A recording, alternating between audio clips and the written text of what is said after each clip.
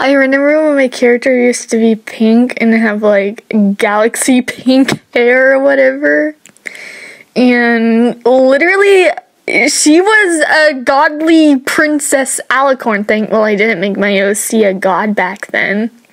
But she became a princess just because she graduated second grade. that was literally her backstory. I literally just made her an alicorn princess because she graduated the second grade.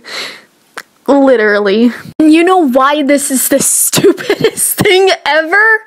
Because, like, if you're supposed to become a goddess or a princess or something special, you have to do something incredibly special in order to become an alicorn or, like, the leader of the whole freaking universe or whatever.